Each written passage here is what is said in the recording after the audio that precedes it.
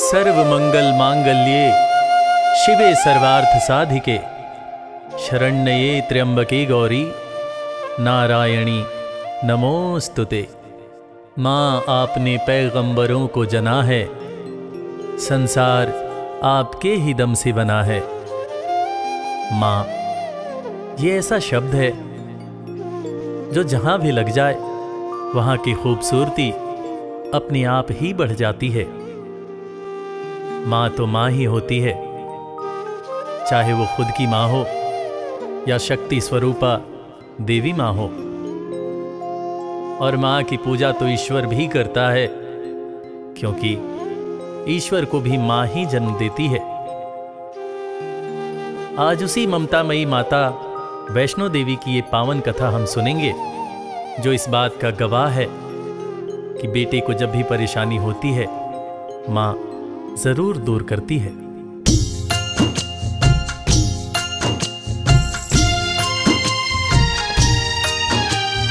जय जय वैष्णो माँ।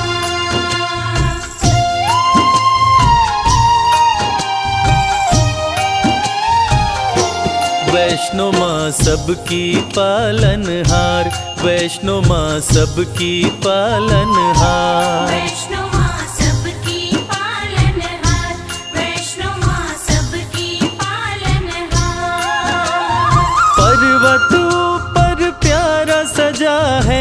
पर्वत ऊपर प्यारा सजा है। माता का दरबार, वैष्णो माँ सबकी पालनहार, वैष्णो माँ सबकी पालनहार।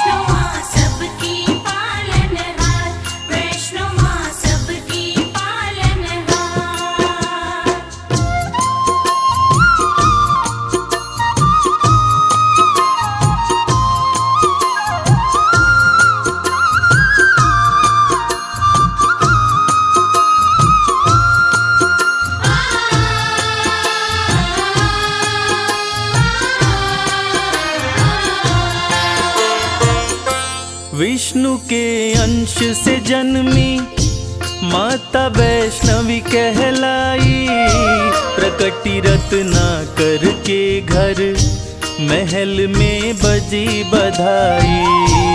प्रकट रत्ना करके घर महल में बजी बधाई।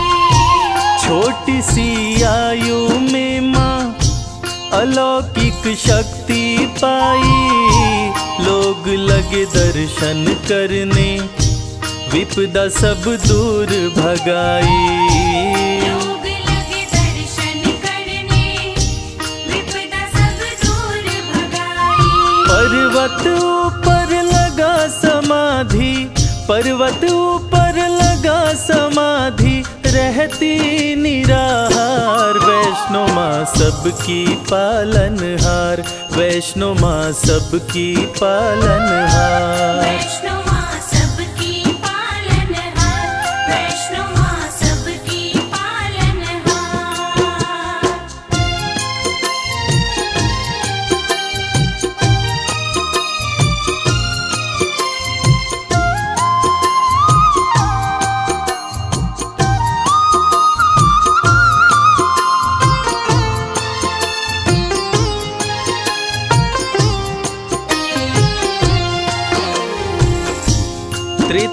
जब रावण और कुंभकर्ण जैसे राक्षस धरती पर उत्पात मचा रहे थे, उसी समय महाकाली महालक्ष्मी और महासरस्वती के तेज पुंज तथा विष्णु के अंश से राजा रत्नाकर के घर एक बालिका का जन्म हुआ, जिसका नाम वैष्णवी पड़ा। वैष्णवी की तपस्या से खुश होकर सूर्य भगवान प्रकट होते हैं और एक दिव्य कमंडल देते हैं, जिसमें से जो खाने की इच्छा होती बना बनाया मिल जाता था और वो खाना समाप्त भी नहीं होता था। कर रही घोर तपस्या विष्णु का ध्यान लगाए स्वतः ही टूटी समाधि राम जी पास में आए। स्वतः ही टूटी समाधि राम जी पास में आए। वैष्णवी हर्षित होके प्रभु श्री राम से बोली मेरे संग शादी कर लो। राज वो दिल का खोली। मेरे संग शादी कर लो। राज वो दिल का खोली। मुझको भी प्रभु अपना बना लो। मुझको भी प्रभु अपना बना लो। सपना करो साकार। वैष्णो माँ सबकी पालन हार वैष्णो माँ सबकी पालनहार। वैष्णो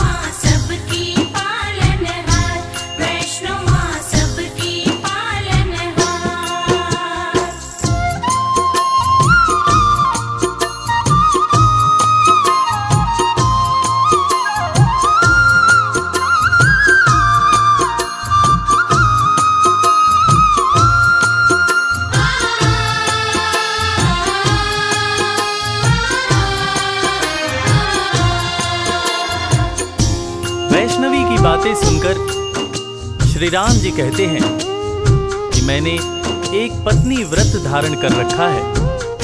इस समय सीता मेरी पत्नी है।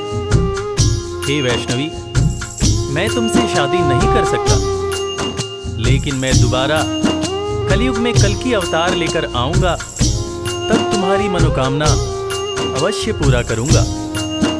तब तक तुम धरती पर रहकर वैष्णव धर्म का प्रचार प्रसार करो और कलयुग में भक्तों का कल्याण करो। इतना कहकर श्री राम जी चले जाते हैं और कुछ समय बाद भैरव नाम का एक दुष्ट शासक वैष्णव धर्म का विनाश करने लगता है और देवी से बैर करने लगता है तथा देवी माँ के भंडारे में उन्हें अपमानित करने के लिए अपने बहुत सारे चेलों के साथ आकर उत्पात करने लगता है। महाबलशाली भैरव काफ़ी उत्पात मचाया। बहुत से लेकर चेले वो भंडारे में आया। बहुत से लेकर चेले वो भंडारे में आया। माता ने दिव्य कमंडल अपने हाथों में उठाया सभी को भरपेट भोजन माता रानी ने कराया। सभी को भरपेट भोजन माता रानी ने कराया। चकित हो गया देख के भैरव चकित हो गया चमत्कार वैष्णो माँ सबकी पालन हार वैष्णो माँ सबकी पालनहार। वैष्णो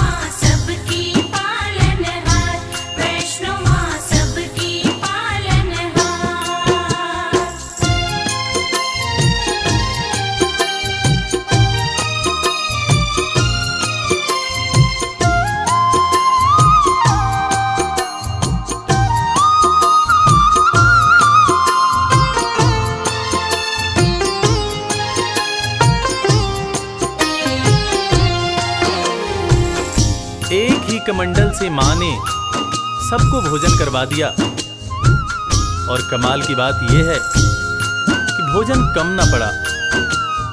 ये अद्भुत चमत्कार देखकर भैरव दंग रह गया और वो वैष्णव माता से शादी रचाने की बात सोचने लगा और अपने दूत से शादी रचाने का प्रस्ताव माता वैष्णव के पास भेजा। तब माता ने दूत से कहा कि भैरव शादी का प्रस्ताव भेजकर घोर पाप किया है। जाओ, उससे जाकर कह दो कि वो शांत रहे, वरना वो बच नहीं पाएगा। अगर उसने दोबारा ऐसी हिमाकत की तो मैं उसे मृत्यु दंड दूँगी। मैं भला उस जैसे राक्षस प्रवृत्ति वाले इंसान के साथ शादी कैसे कर सकती हूँ? शादी करना तो दूर की बात है। मैं तो ऐसा सोच भी नहीं सकती हूँ। तुम जाकर उसको साफ़ शब्दों में कह देना कि वैष्णवी ने तुम्हें यह हिदायत दी है कि तुम दोबारा ऐसी गलती मत करना। भैरव का दूत भैरव के पास जाकर माता वैष्णवी की कही बातें कहता है, जिसको सुनकर भैरव आग बबूला हो जाता है। वो चीखता है अच्छा उस कन्या की इतनी हिम्मत, जो मुझे ऐसा बोले, मैं उसे नहीं छोड़ूँगा। दूत की बातें सुनकर क्रोध में भैरव आया। सेना को किया सुसज्जित वो रण का बिगुल बजाया।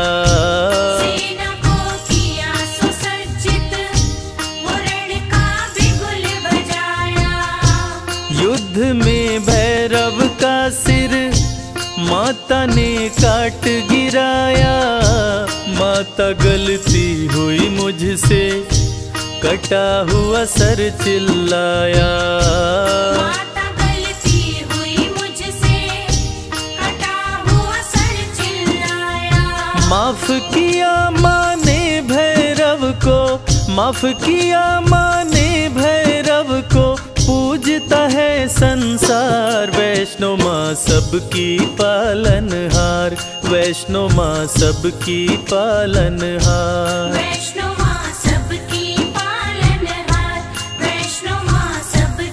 पालनहार। अपने त्रिशूल से माता ने भैरव का सर काट दिया। भैरव का कटा हुआ सर माँ माँ चिल्ला रहा था। और ममता मई माँ ने भैरव को माफ़ कर दिया।